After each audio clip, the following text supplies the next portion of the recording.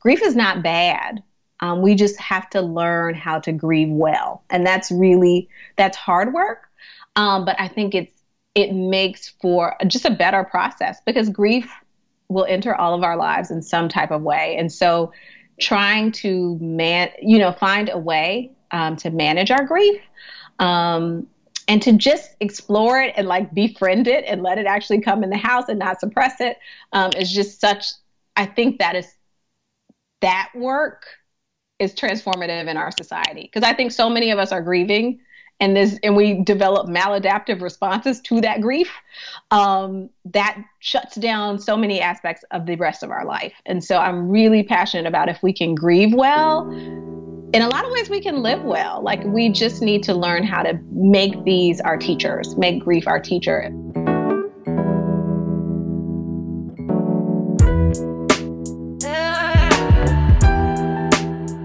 Welcome to the Black Girl Mystic podcast portal, your weekly gathering of Black women and femme spiritual leaders, teachers, healers, and medicine folk from across the African diaspora. I'm your host and guide, Laren Alta, medicine woman, teacher, healer, and mystic. My intention is to create a sacred and sovereign container for you to more deeply explore yourself and your divinity so that you can tap into your spiritual gifts and live your soul's purpose. Sound good? Excellent. Let's do this.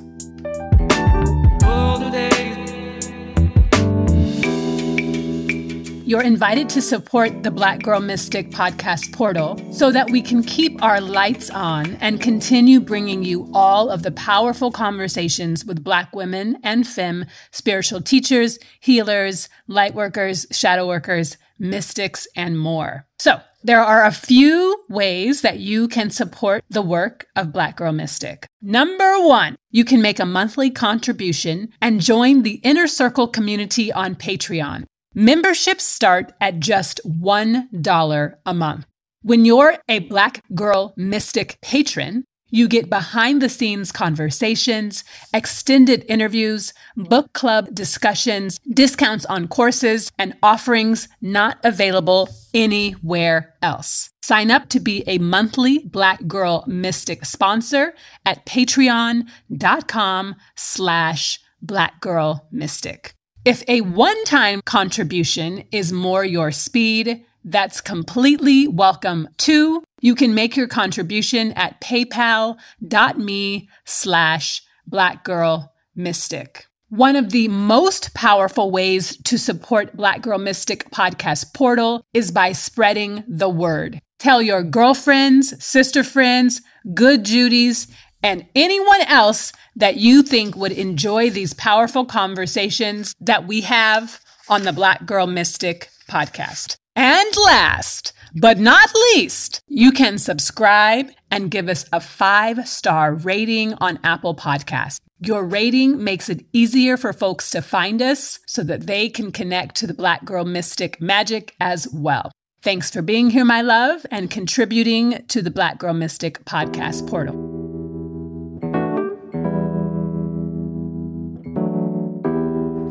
Peace and greetings, loved ones. Welcome to the 32nd gathering of the Black Girl Mystic podcast portal. I am thrilled, overjoyed, excited, and delighted, as always, that you are here. So, whether this is your first time joining or you've been an active listener since we opened our doors, I am so grateful for your presence. You are part of this divine community and collective, and it is an honor to be in this sacred space with you. Today, I'm so excited to introduce you to my friend, Zeena Regis. We go way, way, way back, back into time. And by that, I mean the late 90s, turn of the last century. Zeena Regis is a grief and resilience coach, minister, and spiritual care practitioner. She has worked in hospice and palliative care as a chaplain and grief counselor since 2012. Her training includes a Bachelor of Arts degree in Political Science from Agnes Scott College, and a master's in divinity from Columbia Theological Seminary, where she was honored with the H.J. Riddle Memorial Award for Excellence in Pastoral Care. I love, love, love this conversation with Zeena because we talk about so much, including grief, healing, death, and dying. These subjects and topics, which are generally silenced or taboo or hidden in our current society.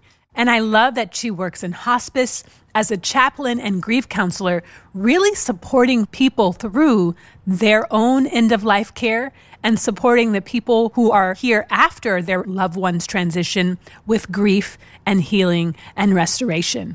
This is a powerful conversation, especially in these times, and I'm very honored and excited to share it with you. Introducing Zeena Regis. Zeena Regis, welcome, welcome, welcome to the Black Girl Mystic podcast portal. I am so excited to have you here. How are you? I'm so happy to be here. yes, I've been so excited about this conversation. Me too. Me too. So I'm going to begin the way I begin all of the gatherings on the pod. Are there any ancestors, teachers, guides that you want to call in and name to be part of this conversation with us today? Oh, that's such a good question. I, have been um, working on like inspired by pleasure activism, my pleasure lineage mm. and resilience lineage. So I'd like to call in my my grandmother and my great grandmother, um, Mary and Bernice. Um, been here. Beautiful. Thank you. Ashe, welcoming them in. Mm-hmm. And what was little Zeena like? What were you like as a little one? That's so funny. I was a I was a handful. Like so the story the stories that my, my parents always say, I have an older sister who's 10 years older than me. So my mom would say something like, Go my sister's name is Eureka. Go tell Eureka to do whatever. And I would always have to add cuss words. it might be like, go tell Eureka to uh, empty the dishwasher. And I'd be like, Rika, mama said, get your ass down here and empty the dishwasher. And so my mom would be always be like, I did not say that. So they were just like, we don't know where you got all this extra spice from that she had to like, always add words that were not there. so yes, that's how it was as a little girl. Uh, that's a little too much. That's hilarious. I love that you were an embellisher. I love that you were editor. You revised. I love it. You know, so we've known each other since college. Yes. Back in the day, you were at Agnes Scott College. I was at Spelman College. We had the Women's College of Atlanta connection.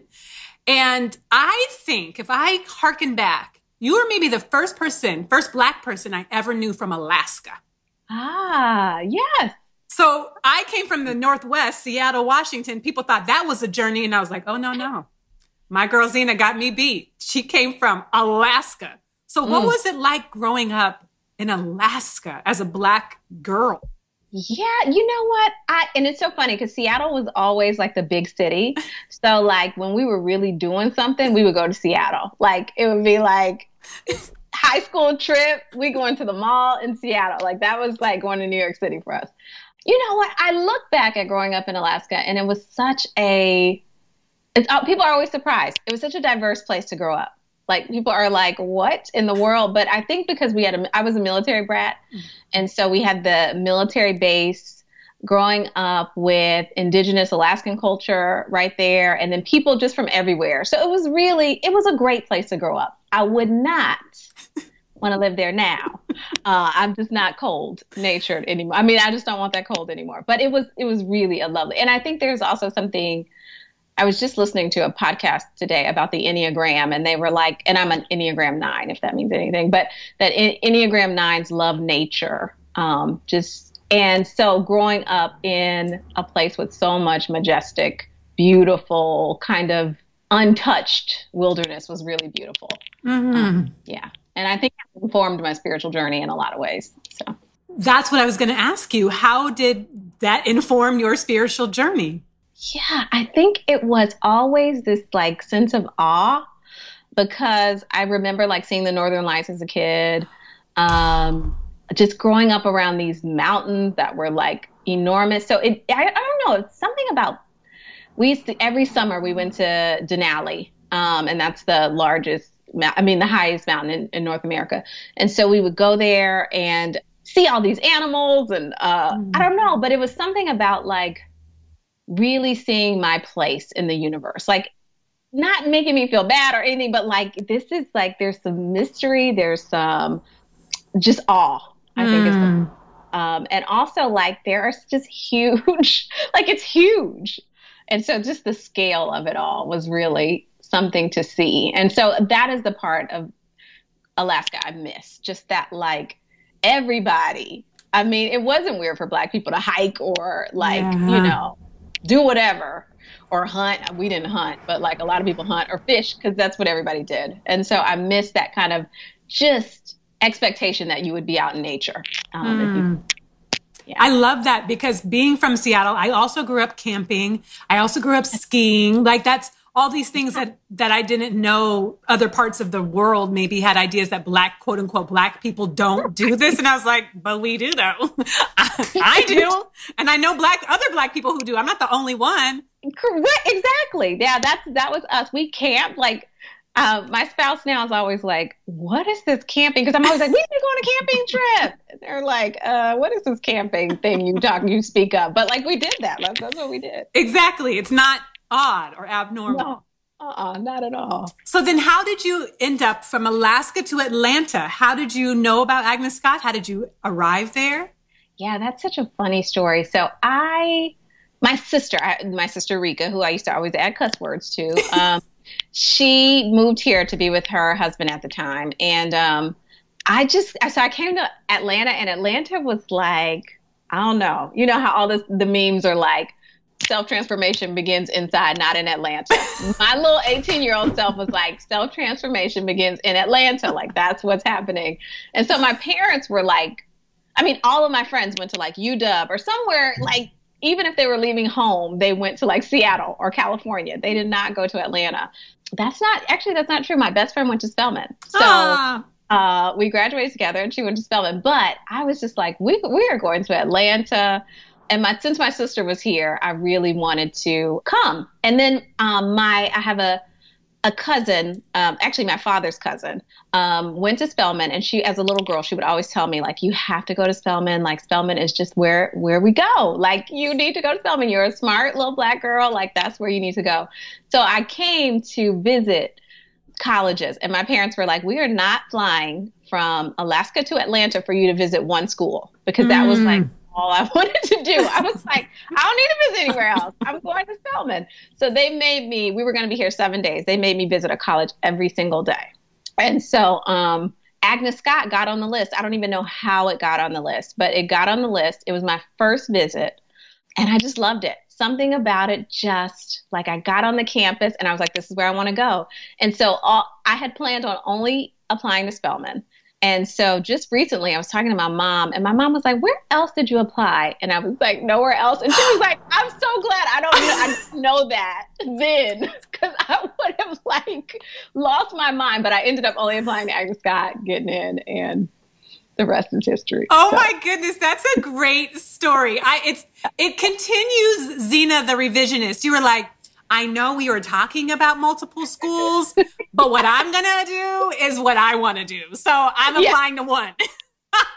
and, I, and I thought she knew that all these years later. I've, I've been graduated almost 20 years. And she was like, I did not know that. I would have lost my mind if I knew that. Like, how did, how did you think that I knew that? And I'm like, oh, I don't know. But yeah, so that it was, it was Agnes Scott for me. And I'm glad. I'm glad that I made that choice. Even though I love Spelman. I told you my best friend went to Spelman. So I got to get on Spelman's campus a lot. But Agnes Scott is where I ended up going. I love it. I love that you went to Agnes Scott because I have a special place in my heart for Agnes Scott. I also think of y'all's squad as like the power squad because you would come to Sister Fire, which was yes. a gathering that I started for all of you who listening who aren't familiar. I started this gathering, monthly gathering at Spelman and y'all squad would roll deep and come from Agnes Scott in Decatur to Spelman. And I just have so much love for you all and so much love for Agnes. Like, I think Agnes Scott, we're just going to go down a little rabbit hole here, but I think Agnes Scott as another all women's college shows up in a way that Spelman doesn't. Like it really is so personable and holds from an outside looking in, it holds you all as leaders of your own experience, which I love. Is was that true for you? Is that just my outside perspective? No, it was. I like so after my like time of being a spicy, always cussing out somebody kid, I went through this really like painfully shy period. Like my whole middle mm-hmm. school, high school, I was just a shy, like I, even my mom and dad are like, we don't know where that came from because you were so loud and boisterous as, as, a kid. And I know a lot of the research says that that's where girls, right at middle school, like lose their voice in so many ways. And I and I think that was true for me. Like I knew I was I was smart and I could do school and I did that well. But anything outside of that, like I just did it. I was just shy and really timid. And I remember my parents coming to visit me at like some parent weekend, and they were like you were not shy or timid anymore. We were like, where did that kid go? and it was really Agnes Scott helped me. There's an Adrienne Rich essay about claiming an education, and mm. she says like girls should not be receiving an education. We should be claiming an education. And I always think about that about Agnes Scott. Like it made me claim my education. And in claiming my education, I claimed my voice in so many ways. And so I will always be grateful of like just that work, the work. And then like like you said, the squad was just amazing. Like the folks I went to Agnes Scott with were like amazing. Truly. So they're still my friends. Like I still I was just telling a, a Scotty who just graduated because she was like, you know, some of the girls at Agnes Scott were blah blah blah, and I was like, there's not a day that goes by 20 years later that I don't talk to someone in some way that I went to school with. Like mm. we're either in group texts, we are on Facebook commenting on like every day. I'm, I'm calling, like we are, we're just connected 20 years later. I love it. It speaks volumes. It yeah. really does. Ah, the quality of human that you all are and that Agnes cultivates is just remarkable. You have a lifelong fan in me. yes, we are. We have a we are a mutual admiration society because I mean every woman I know that went to Spelman is dope. So. Oh, hey, I love it. I love it. So then you let you finished Agnes with your political science degree and then got your MDiv, your Master's of Divinity from Columbia Theological Seminary. Mm-hmm. Why did you choose to go to seminary? What was that choice for you? Yeah, it was interesting. And I always joke that I'm the most heathen person that probably went to that school. Um, because it wasn't an obvious choice for me. Even one growing up, like we were Christian, but we were also like, let me not let me not go too far for, for my mama or daddy be like no that was not true. But we were uh, we went to church on since i was a military brat we went on the military base and there was a protestant and catholic service. So we were just protestant. Like that was all like we didn't have a denomination. I didn't even know about denominations so i went to agnes scott because i was like oh we're protestant. Mm. um, and so I grew up with, and then also just, and because of that, I think because it was such an ecumenical understanding of church and Christianity, like we were in one little pot with like Episcopalians and uh, Baptists and Methodists and Lutherans, mm. everybody, Presbyterians, everybody was kind of just doing their own thing, but we all like came together. So that's what I, that's kind of the mix I grew up with. And then um, I went to Agnes Scott and I just didn't go to church. I was like, what is, what is this? Why would I go to church? Um, but I've, I've always been really interested in how, but I've always considered myself a very spiritual person and very interested in how we, how our spirituality informs how we show up in the world. Mm. Um, and my first job out of Agnes Scott was a community organizer. And I was um, a congregation based, like my position was working with churches to get them engaged in living out their faith in public policy you know, so like it would be like, what are the things that are in our communities that we're angry about? And how can we come together as, as faith communities to change them? I loved that work. And the part I loved the most was like being like, you believe this. So how does that show up in your world? Mm. Um, and so I realized people were like, "Who is this little girl coming to preach to us about how we should be showing up uh, in our faith?" Like, I'm like, "Y'all believe in Jesus? Let's follow Jesus." Like, what would Jesus do about this? Um, and actually, one of my supervisors at the time was like, "I think you should go to seminary. Like, uh, that's you know, you." You really have this passion for ju- justice and spirituality. And so I did, you know, and I, I, like it's something that came over and over again. And then I applied and I went. And so mm. I didn't know what I was going to do with it. I figured I would not be a pastor in any traditional sense, but I, um, I knew it would be something because I'm like, I, the way we cannot be- just believe. Our belief has to be enacted. It has to be practiced some type of way. And like, how can we use these beliefs that we have to like inform our spiritual practice um, and make a better world? And so I was like, I don't know what that's going to look like, but that's what I'm gonna that's what I'm gonna do, set out to do. And so that's that's how I ended up in seminary. And now you are a chaplain. Yes. And you yes. do pastoral care. So how has that evolved and informed how you show up because I hear this through line of holding the space, witnessing people, telling the truth, letting people have their own experience. And let me ask it this way, actually. What is it like to be doing pastoral care in a pandemic and be a hospice chaplain in a pandemic? These are different times than when you started seminary. Totally. So that's such a good question. So how I kind of the journey to chaplaincy was my first. I had an internship in seminary. You have to have an internship, and mine was as a prison chaplain, and I loved that work. There was something mm. about um, showing up to people who like in churches we know how people believe for the most part like what their kind of overarching faith background is. Showing up as a chaplain, you have no idea. And mm. I like that. Um, and so it was really challenging in that way. I mean, I love anything that challenges how I think about something. And so showing up with these women, I was in a women's transitional center for the most part. And showing up with these women who had, in so many ways, just been victims of state violence, um, relational violence, and also just them processing all that was happening spiritually was really just it was a gift for me and mm. i think it made me grow up really really quickly um, and get out of these like pollyanna visions i had about life and so georgia in all its wisdom was so that's what i had decided i was like i want to be in like prison chaplaincy forever um, but georgia cut a lot of cut most of its chaplain positions oh wow um, and so my supervisor at the time was like, I just see you as a, ho- I see you in hospice. You're just really good at sitting with people in like liminal space and mm. um, helping them transition in different ways. Cause it, my, I was the reentry chaplain. So I helped people who were about to transition out of prison life back into the free world. And so she was like, I kind of see that as a skill set you could use in hospice. And at the time I was like, that's either going to be really good or really bad. Mm. no idea like how it was going to go. But it turned out to be really a gift in so many ways. Like I love hospice work because I do there's so much. I mean, one, we're all going to die.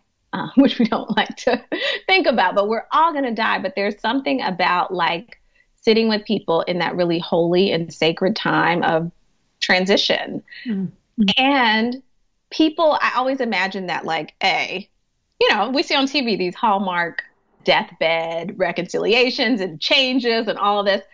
For the most part, that's not how life works. People, mm. people die in character, like, and and that's affirming to me. Like, for the most part, who you are, who you live, is who you are when you die. And so, people are hilarious. They're ridiculous. They're amazing. They're infuriating. They're spiritual. They're who they are.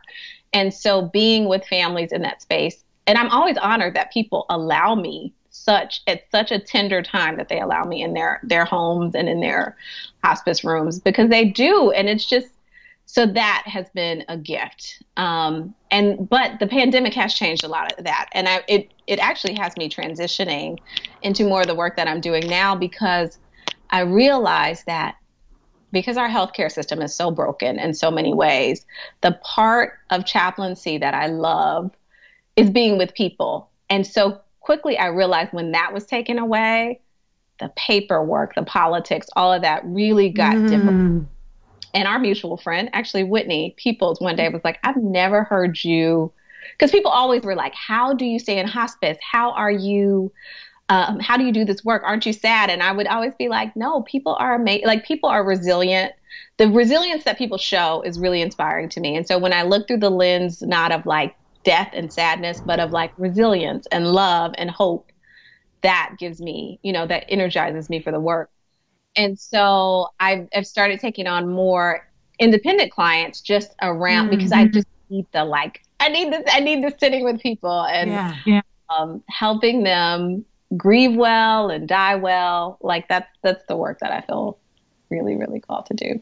And you were saying Whitney said something, but you didn't. Oh, oh, Whitney was saying, I've never heard you this burnt out before. Like she was like, "What's going on? Like you are really burned out." And I've never ever heard that from you. And, and I, and I had been doing that. I've been doing this work now uh, almost a decade. And she's like, "I've never heard you, exp- you know, express burnout." And it was just like in the pandemic, and that's when I had to like get quiet and like uh, get my guides and my ancestors and God together to be like, what's happening? And it's yeah. like, you're not being fed in the way that, you know, the work that, and that's the people that's sitting with, with people. So I want to talk about what you're doing now with this grief work, which is so powerful and, and amazing. But before we dive into that sweet little pool, I want to ask about how you hold your own grief or if you have the grief that comes up being in hospice and being a chaplain in hospice, do you grieve? Do you mourn? Are you impacted by other people's deaths? Like what does what is your process around it? Yeah, it's so I'm really grateful for like spiritual teachers all throughout this journey who who have like been very intentional. Like you got to care for yourself, you got to take care of your spirit. And so that first and foremost has been like my main like this is how I do this work. Um, and that's how I mm-hmm. sustain it. Um, and so I do one, I of course grieve the individual people that I get to be in relationship with who are just wonderful. I'll tell this quick story because I was just writing about it. I had this patient who I just loved. Um, and he was for I think he was a crotchety like old man but I just loved him. And one day, like, and everybody was like, "Oh, don't go, don't don't go talk to him. He's so hard to talk to." Uh, he had spent a, a, lot of his adulthood in prison, mm. and then he gets out of prison finally, and then he has this terminal illness, and he's like, mm. you know, he's hmm. really really angry at God. And then I, but he, we start, we just developed a rapport, and he would let me visit, and um, we just, he was always inappropriate because he would always say stuff like, how you a chaplain and you got all that ass? Like all kind of stuff. And I'd be like, sir, why are we doing this right now? But anyway, but one day. I love him already. I'm just, I love a curmudgeon, grumpy old man who has a mouth on him. That's my favorite. me, me too. And everybody would be like, how do you love him like you do? And I, I just, I just do. I did. And, um, one day he just got so quiet and was like, I just really, something's been in my heart. I really got to talk to you about it. So I'm really thinking we are going to be talking about some serious, like life, death, reconciliation type stuff. And he's like, ah, Zeena, do, do you think there's going to be weed in heaven? he was so serious because he was like, I'm not sure I want to go if there's not going to be any weed. Like, we got to talk about this because we had just been talking about i was like you know you know i don't really believe in heaven and hell in the traditional ways but you are going to go to heaven you're going to go to where you're going to go to the, the beyond and you are not going to go to hell and all this stuff. And so he's like i don't know if i want to go. There's not going to be any weed so eh, but anyway what did you say? How did you respond to this question? You know what? It was so funny. Like first i laughed and was like that is really doing a lot. But then we went through the whole, like, we got in this whole theological conversation about if we thought Jesus would smoke weed and, like, what are all the like leaves of the trees that they talk about in uh, the Bible? Like it became a whole like it became a whole thing. We had a whole Bible study about marijuana that day because he we talked about scripture and maybe Jesus being okay with, I mean, Jesus probably being okay with weed. Like, yeah. not maybe. Um, like, he was probably okay with weed. Mm-hmm. And so it's like if those conversations, uh, yeah, I love. And so those patients, I always just, like, I have a hard time. Like, and it's funny, people in my life are like, girl, you in hospice, they gonna die. Cause I'll be, I'll come home and be like, I didn't realize they were gonna die. And they're like, but you work in hospice, like that's what you do. Um, so yes, I have that. I have that grief of like, but I always like there are little things that I really do, and like for a while I was keeping a like vase of rocks where I would rock, write their names mm. on rock and put it on a vase. Just like I felt like I needed something to remember because I really believe so much of like in the idea like so much of our legacy and is is in how we're remembered and so i just feel like my part is remembering and mm. so I, hmm. and i really started writing a lot too just so i could remember like i want to remember all of these people and these souls that are like that have been here and who are part of the, our great uh, cloud of witnesses you know mm. so that hmm. so that individual grief but then also there's been a lot of i have a lot of grief around our healthcare system I mean, just that is what it is. Like, I I've worked I worked at a hospice that served primarily Black patients um, for a long time, and a lot of us were dying untimely deaths, not because of not. I didn't feel like it was because it was our time, but because we were being mistreated by the healthcare system. Mm.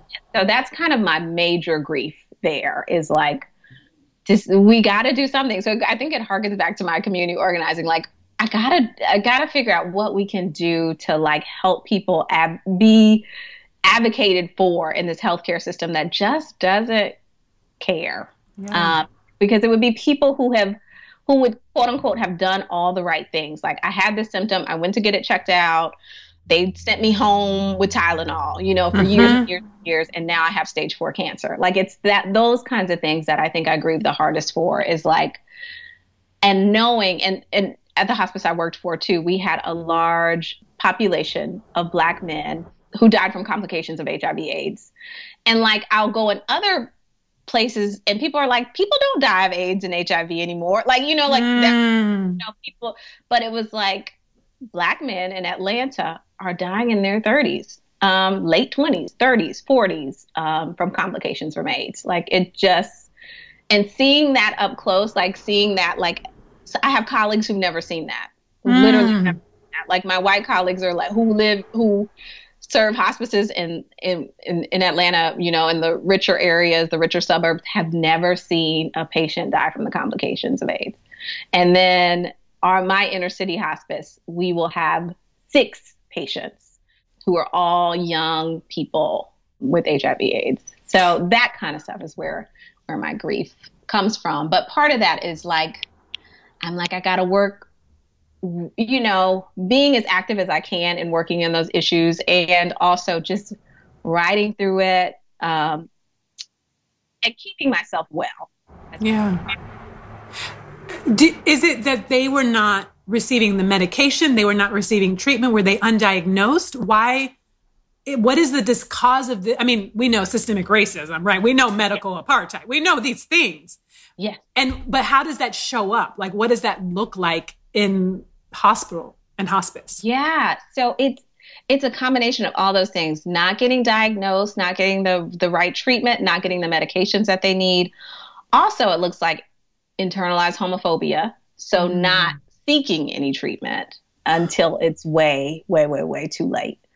And so it's a lot of that. And then also being like a lot of these patients were already on the edge, like not like homeless, dealing with homelessness, dealing with, you know, just basically trying to survive and then having you know, having these medical issues, realizing they, that they, you know, I probably should go get treatment, but just not having the resources to do it. Um, or not even wanting to being in denial about what what it could mean until it was way way too late and i think even for me i say now like oh i have these people in my life who didn't know that this was still happening but like i didn't know it was still happening mm. you know I, mm. you know i didn't realize that this is what what what it looked like and i remember at one point I worked in a hospice unit that had 22 beds. And I remember there was one week where literally six of them were black men who had complications, who were dying from complications of HIV and AIDS. And I was just like, this is not like I would have never thought that that, that would be happening in this metropolitan city, you know, across wow. the street from a major hospital, you know, with an infectious disease program. So, wow. It's heartbreaking, really. Yeah, it really, really, really, really is. I'm so glad that you have been and continue to be a presence in the way that you are, because I imagine that dealing with all of that where it might feel the world is mounted against you to have a listener who can hold space and help move the process with such love and care and compassion such as yourself mm. is invaluable. Like you can't measure that. You know you can't put a price tag on it. It's like soul food heart food. It's what people need more than anything. Yeah. Yeah. And that's that is always what i try to be. I want people to feel like I one of the things that I've learned in this work is that you can't like when I first entered chaplaincy, I wanted to make people feel better. Mm. Um, and that's not the work. The work is making people feel heard and witnessed. And so I'm always like, if I can do that, if I can create a space where people feel heard and witnessed and safe, that's my work. And so I'm really grateful. I'm always grateful that people allow me in to do that. And like one of my um, not to get all bogged down in stories, but this story, I just always think about it. It was um, a young man, and he had de- developed pneumonia as a complication of AIDS. Young, I think he was 23, and oh. his mom didn't know about his diagnosis. His friends, and so the by the time they found out, it was too late, and they had to transfer him to an hospice unit. And so he had like this group of maybe 30 young people who came to see him and to be with him as he died.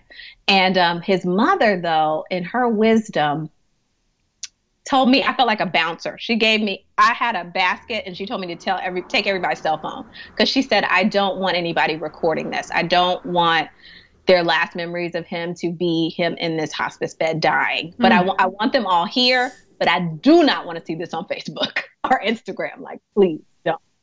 So I, I took everybody's um, phone um, and but what was beautiful is no one gave me any gr- grief about like taking their phone. And it was just such a holy time that we were able to create like a prayer and singing. And so that young man, even in his untimely tragic death, like he went out with singing mm. um, and prayer. And it was just, it was really beautiful. Um, and he had a really beautiful death because of that. Like surrounded by the people he loved, surrounded by his chosen family and his biological family, and he left this this earth. And it was like those kind of things make me are like that's why I love hospice work. Oh gosh, that just got me so teary. Thank you for sharing. I mean, I'm here for all the stories, so thank you for sharing that. it's like because the way our society is set up, it's so hyper sanitized. And it's not actually hyper sanitized because you, I mean, in Seattle, I don't know what it is like in Atlanta right now, but Seattle, there's tent cities everywhere. Like there is a very un- large unhoused population in one of the most economically sound cities in the country, right? Like there's same with San Francisco. There's like this huge unhoused population and a lot of wealth. So when I say sanitized, I don't mean that like actually it's sanitized. It's just like the way we don't see birth anymore. We don't see death anymore. Right. They're, they're just like pushed into these corners. So your stories revitalize our relationship with the full life cycle. So thank you. Yeah. Oh, yeah. I, I totally agree. I think I just picked up this magazine and the headline was The Future of Death Care is Feminist Mm. And I mm. love that. And the whole article was about how like we have sanitized death so much and like how it's women bringing it back. Like I love I loved it so much. So mm. I love that. Thank you. And last question before we transition, because uh, I'm like I would could stay here and talk to you about this all day, but I know that we have more to talk about. How is hospice care handled in this pandemic? Is it possible? Do people still show up in person? Is it virtual? What's happening? So they do. You can to some extent, but a lot of it is virtual, done virtually now, and that has made I think that has made it really really difficult. And just because our society has such this very unintegrated view of who we are as humans. So it's always like the essential care is that of nurses and doctors. Um, the unessential is social workers and chaplains or anything else.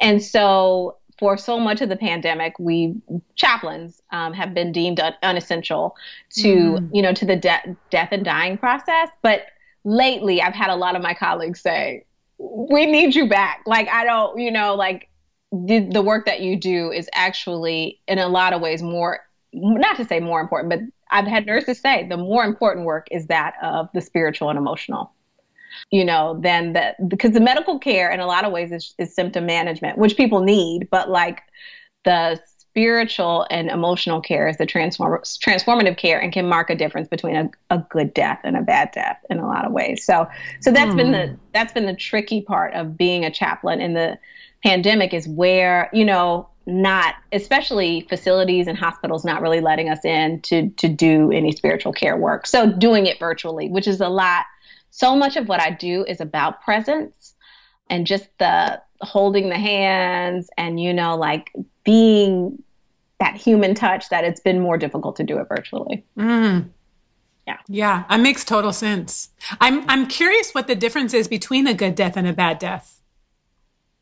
Yeah, so for me, um yeah, that's a really good question, but in many ways a good death um is about having everything taken care of, like not having all of the um, kind of the worries about the logistics of death. So having being able to be whole and present, like whoever is your circle of support, having them be able to be present at that bedside without the concerns about pain and discomfort, which is a main a main thing, but also like without the concerns of like how are we to pay for this? And like how is um, what happens to the body after you know after you die? Like all of those things. And so i've become really passionate about helping facilitate conversations about like what can help you be most most present with your loved one at the time of death? Um, what can help them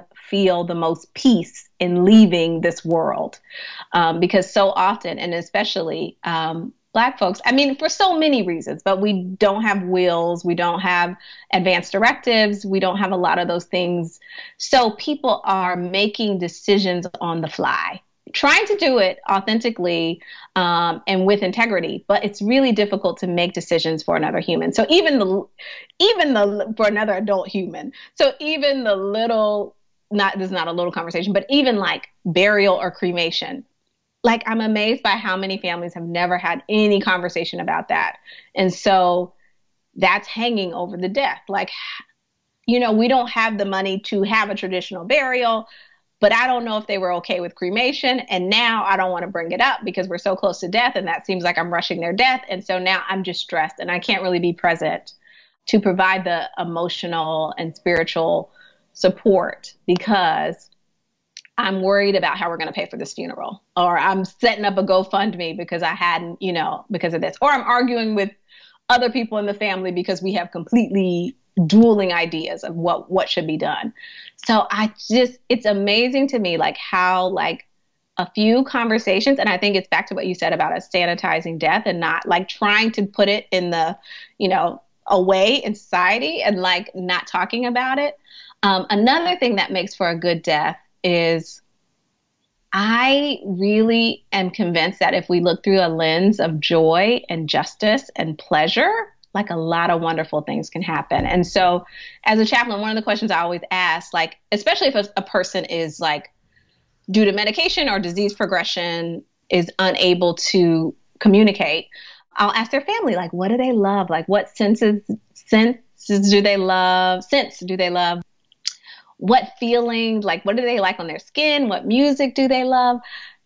And so often we don't know that about our loved ones. And so I'm always encouraging people have conversations about like those little things like because I think that can make for a good death. Like I know, you know, my loved one loves crisp sheets and citrus smells and I can put a little taste of raspberry on their tongue and I know that will delight them and like all of these things, but because we don't have conversations about these things, people don't know. Like they'll be and i've always what i always tell my family so what happens too often is people will have on the TV because they're just very they want to be distracted. So like people will die with like CNN on or something. And I always tell my family, I will come back and haunt you if when I'm dying you have CNN on the TV. Like that's unacceptable. like this is but like that's what happens because I'm like, what what is your what is your big mama love? Like what music like makes her feel brings her pleasure and they'll yeah. Be like, oh, um, mm. So that hmm. so that's why I'm just like conversation is so important about these really hard, but also when we look at it through this lens of joy, what brings us joy, what will be just, and what is pleasurable, I think it it, it really can help us have good deaths. Yeah. Oh, I love that. I love that, and I think so much of what you're naming around why we aren't doing this and the riches that come from it are the similar to why we don't talk about grief that happens after death. So I want to hear about your work as a grief recovery specialist and helping guide people through their grief journey because we are not in a society that honors grief, names grief, centers it. Like it's just like you got someone died two days and then get back to work. Where's your productivity? Get it together. You know, it's like, so talk to us about grief. Yeah, I uh, um, that's been so much of my work lately, and I'm really, really grateful just to to be able to name my own grief and help people name theirs. And so I really love the work of Miriam Greenspan. She has this book called The Healing Power of Dark Emotions. And um, she talks about like suppressed grief being so much of the reason that we're experiencing so much anxiety, depression, and addiction. Um, and that like there are no negative emotions, just unskillful ways of managing them. Mm-hmm. And so that has really become kind of like the mantra in my work like, grief is not bad. Um, we just have to learn how to grieve well. And that's really, that's hard work.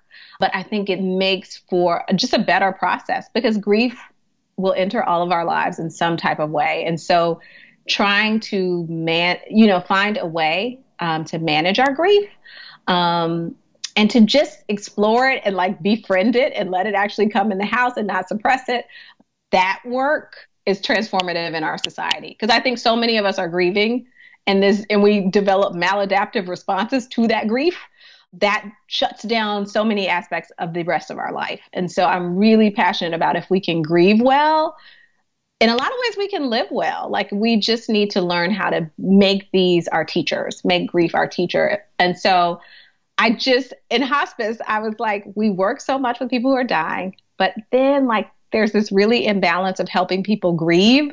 And so it just kind of set me off on this like journey of how do I help people grieve well? And then around the same time, I started working in hospice. My sister in law died unexpectedly, mm-hmm. um, very young, leaving her children. And so I'm raising my nephew mm-hmm. um, who had, was grieving his mother. And so I'm like, I got to help him grieve well. You know, mm. like he shouldn't have to deal with this grief at this age, but he is. Like, how do I serve as a friend, a companion, a good old auntie to help him grieve well? And so he actually inspires so much of my interest in grief work because I really was like, we got to do this. Like, this is so he's my teacher about mm. grief in some ways because I'm like, we, how can we, how can you grieve well? And I think, especially not to get all stereotypical, but I think especially for men um, and, and young men, anger is a more accessible emotion than like sadness and despair and fear and grief. And so even just helping him articulate like one of the exercises when he first when we first adopted him became like are you is this sadness or is, is this anger or is this sadness and when we were really able to talk about it a lot of times it would be sadness so that made me be like, how many times are we thinking about this as rage or dissatisfaction or anger when it's actually grief? Um, that, so that's what I try to do in a lot of my grief care practice is help people name, notice, and honor what they're feeling so that they're able to process it and move forward in a way that seems fit for them. I love it. So if someone's listening to this conversation, they know they have some grief. Maybe it's even disguised as rage or anger. Mm but it's there and they have no idea how to drop in and access it. And it maybe it feels terrifying because often it does if you don't have a relationship with it. What do you want them to know? Yeah, that's such a good question. I think the most important thing to know is that grief is normal and natural. Like it is. It's it's a normal and natural response to loss. And grief doesn't always have to come from a death of a loved one. Um, that's that's more most often how we talk about grief. But like actually with my nephew, I um, had always imagined my life with lots of biological children and i um, i have endometriosis and so i'm I, I have dealing with infertility but it was help it was actually him who helped me name that that is grief like mm. you can be cool and like you know my life is good and i like you know what i'm going by but like it's it was really for me getting in touch with that grief and like naming it, noticing how it was showing up, and honoring it so that I could actually move on um, and move forward in a way that felt good for me. And one of the most important things, like what I start with with all my clients, is kind is lay labeling the emotions like not in a not in a scary way but like what is actually talking about what is coming up mm. because i think we underestimate the power of like sometimes like we'll have something covered up and once we actually uncover it it's not as bad as we thought it was but all the energy we have for like walking around it and not trying to um, deal with it can actually you know be the thing that's setting us you know back but yeah. when we actually name it and say this is what it is and then setting space for honor it and, and a big piece for me too is ritual setting rituals around it so mm. and creating and crafting rituals that actually help us to process loss. I just went to this talk and it was so powerful about grief. But one of the things it said is that you can tell how well a society grieves by the rituals it has around grief. And mm. I was like, mm. we don't have any rituals around grief beyond a funeral. Um, so it was talking about all these like breakups, divorces, miscarriages, um, mm. you know, mm. justices, all these griefs that we have that we ne- we have no rituals marking. Um, and mm so we don't get any communal support around it. Um, we don't even really name it as grief because we're taught like you don't even get the bereavement leave for these griefs. That's right. That's so right. You don't even get to, so there's nothing there. Um, so I really, really try to help all my clients and anyone I'm talking to, like, what is what would a ritual look like around these things for you, and like mm how can we do that? So, mm. Zeena, I love this and I'm loving this conversation with you. I could stay talking with you about it all day long. so, for those who are listening who want to continue the conversation, who want to work with you around their own grief, who want to dive deeper with you, how can they find you and how can they work with you? Yes, yes, yes, yes. I would love it. I um they can find me at my website. It's zeenaregis.com, Z E E N A R E G I S.com. Um, I'm also on Instagram at zeenajane.com.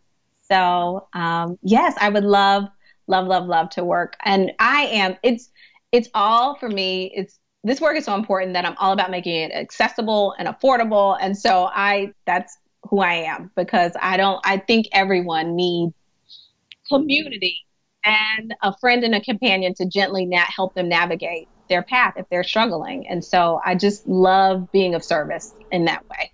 Mm, it's you're such a gift. Thank you so much. I Likewise. I appreciate you so much with my whole heart. Like such a gift. I really could continue talking about this because it's such a rich, untilled conversation in our general narrative around death and grief. Like we just don't talk about it. And we, I'm going to say this last thing before we hop off, because in the Chinese medical system, the lungs are connected to grief. And so it's not lost on me that this pandemic, COVID 19, is happening and affecting certain places. Now, yes, there's government negligence. Yes, there's all these things, but there's it's a way that it's showing up in certain parts of the world. I think my very rough guesstimate is that there are a lot of places that are not grieving that have not learned how to grieve, that have suppressed grief. And so our lungs are more vulnerable. Of course, this is, no one has said, no professional has come out with this theory, but this is my kind of just bringing different philosophies and theories together, thinking about, thinking about it. Because if it, if grief is reflected in the lungs and that's where COVID is living, I, I think that there's a lot of us who just need to be grieving. That is that that is so powerful. And I will say that I know that we're wrapping up, but like actually it's so interesting because I have a, an acupuncturist who is works in Chinese medicine. And so my endometriosis was in my lungs. Mm. And she's like, you know, that's so rare. But that's one of the things she said, like, where what are you grieving? You know, like what are you and so that set me on my own personal journey because she was like, girl, when things show up in your lungs, like that, that's really serious. It's so what you said means a lot. I mean, it just that clicks for me because that is where this is showing up for us.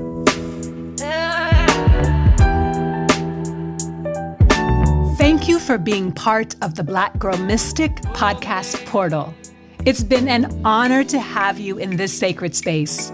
If you enjoyed yourself, be sure to subscribe, review, and leave us a five star rating on Apple Podcasts. Your support helps other mystics just like you find our portal and community. Speaking of, if you'd like to stay connected and go even deeper, find me over on Instagram and say hi at Lerin Alta, L E R I N A L T A. That's L E R I N A L T A. And so for now, we close this beautiful portal until we decide to meet again. Thank you so much for being here. So much love. Signing off.